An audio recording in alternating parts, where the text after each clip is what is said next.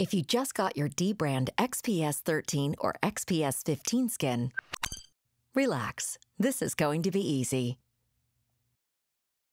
First, wipe your device free of dust and fingerprints. For optimal results, ensure you are under bright lighting. Note that your dbrand skin comes with up to five elements top, logo, bottom, palm rest, and trackpad. Don't worry if your exact device isn't shown. The procedure is identical for all models. You will require a hairdryer for this installation, so pause the video now and go grab one. Welcome back. Let's start with the logo. If you didn't purchase a separate logo piece, one with a Dell cutout is included by default with your top skin.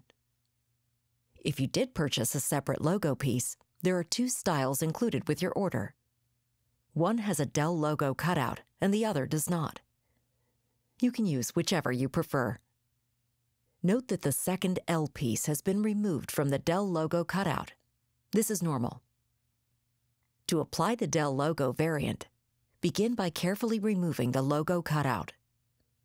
Next, peel off the circular logo piece, then put the Dell cutout back onto the 3M paper. Apply the logo piece using the bottom left of the D as an alignment reference. Once the circle has been applied, take the Dell logo and insert the D into the cutout. Press firmly on the D, then peel off the logo this process will ensure the inner portion of the D is aligned properly.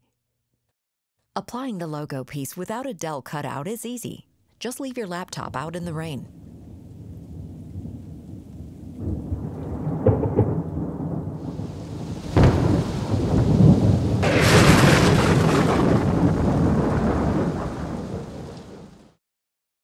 Let's move on to the top skin.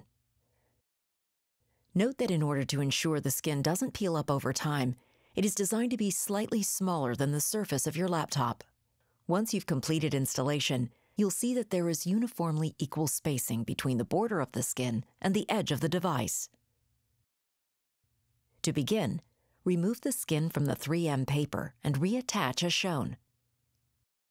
If you're applying a skin to the XPS 2-in-1 model, be sure to expose the hinge cutout.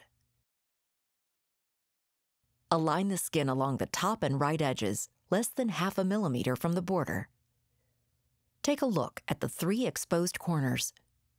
You should see equal spacing between the border of the skin and the edge of the laptop on all sides. For the XPS 2-in-1, ensure that there is also equal spacing around the hinge. If you align the skin flush against the edge of the laptop, you'll see that the opposite side will be too short. If the spacing isn't equal on all edges, simply tear it off and start again. Once lined up flawlessly, apply pressure to the exposed portion. Next, shift the 3M paper down diagonally by about 2 inches and apply pressure to the exposed portions. Repeat this process until the entire top surface has been applied.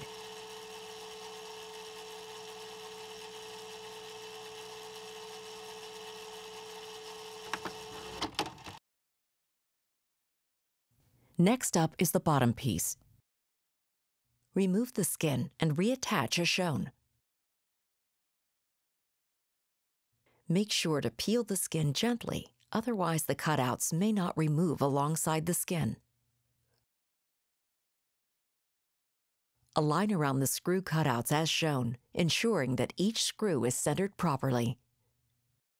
Once lined up, apply pressure along the top edge, leaving the corners unstuck.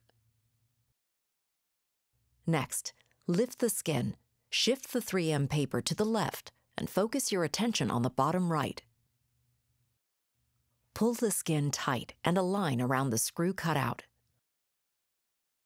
Once aligned, apply pressure to smooth down the right side. Next, shift the 3M paper down diagonally by about 2 inches and apply pressure to the exposed portions. Repeat this process until the entire bottom has been applied.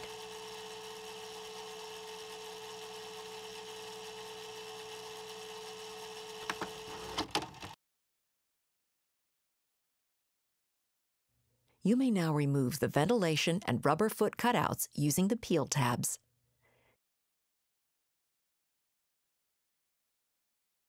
Finally, let's take a moment to apply the corners. Grab your hair dryer. Peel back any of the four corners, then heat it up until the material becomes soft. Once heated, apply firm pressure to form the skin properly around the curve.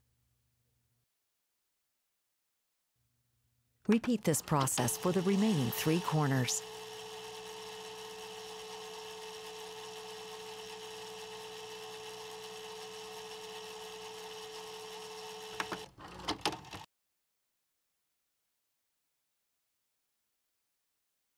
Apply one more round of heat and pressure along each edge to ensure the skin is applied properly.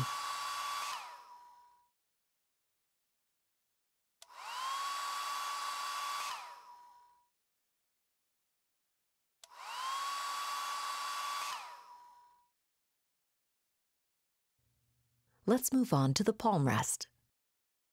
Remove the skin from the 3M paper and reattach as shown. Align against the hinge, ensuring the skin is evenly spaced along all sides.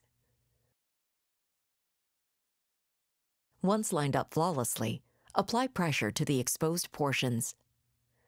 Next, lift the skin, shift the 3M paper to the left, and focus your attention on the bottom right. Pull the skin tight, then lay it down so that it's flush with the bottom right corner. Apply a round of pressure to smooth down the right side, taking care around the keyboard cutout.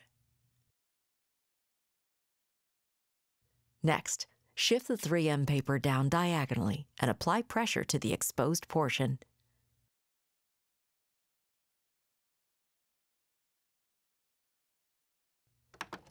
Repeat this process until the entire palm rest skin has been applied.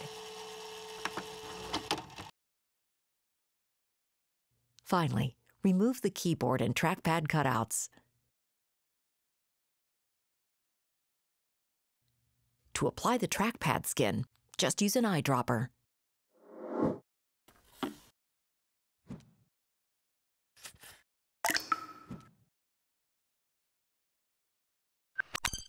Done. If you have any questions, you know how to reach us.